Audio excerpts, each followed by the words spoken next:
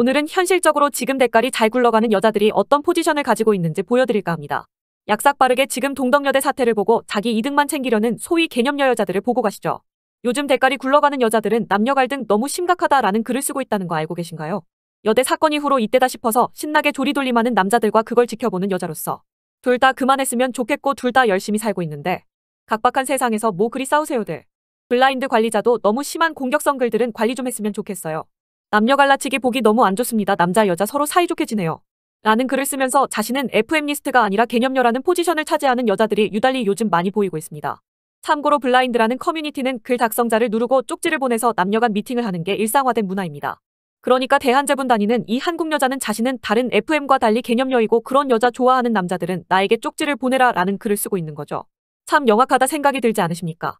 3년 내내 FM팬은 영상 만드느라 정신없는 저도 스스로를 어쩔 수 없는 한년이니까 걸러서 영상 시청해라 라고 말하는데 본인이 여자를 대변하는 것 마냥 남녀 갈라치기 보기 안 좋다고 말하는 저 꼬라지의 박수가 절로 나오네요. 참고로 이 한국 여자는 100% 스탑널커가 확실한 게 동덕여대 사태를 비판하는 남성들을 조리돌림한다 써놓고 FM 한여들의 만행은 하나도 쓰지 않은 걸 보면 여자들이 욕먹는 게 싫지만 억지로 이 글을 쓴 게 눈에 보이는 여자입니다. 댓글로 이 사실을 지적하는 남성들에게 왜 이렇게 부정적이냐 뭐가 그렇게 화가 났냐 토닥토닥 마음 푸시고 사이좋게 지내봅시다 정상인 여자가 훨씬 많다. 라면서 대한민국에는 나 같은 정상인 여자가 많다고 은연중에 어필하는 이 모습. 같은 여자가 봤을 때 참 여우 같다는 생각이 드는 건 저만의 착각일까요? 나는 남염한 적 없다 정상인 여자들은 안 그런다 정상인 여자가 훨씬 더 많다. 라는 게 헛소리를 하면서 마치 이 남녀 갈등이 남성들이 시작한 것 마냥 교묘하게 풀어나가는 한국 여자. 여러분은 이 전략 어디서 많이 본 느낌 아니십니까? 여시들 FM 담론 바뀌어야 한다 생각하지 않아 라는 2024년 11월 글을 보겠습니다. 2015년 메갈이 태동하면서 우리는 과격한 모습으로 FM을 시작하였다. 초창기 메갈에서는 미러링이라는 방식으로 한남들에게 충격을 주는 방식을 썼다. 하지만 이제 조금은 변해야 한다 TV만 틀면 김치녀 된장녀가 나오던 무지몽매한 대중들은 페미니즘이라는 단어에 대해 알고 있으니 상황이 변했다. 과격하게 미러링을 하는 방식으로 세상과 싸우는 게 아니라 차분하고 논리적이며 팩트있게 세상과 싸워야 한다.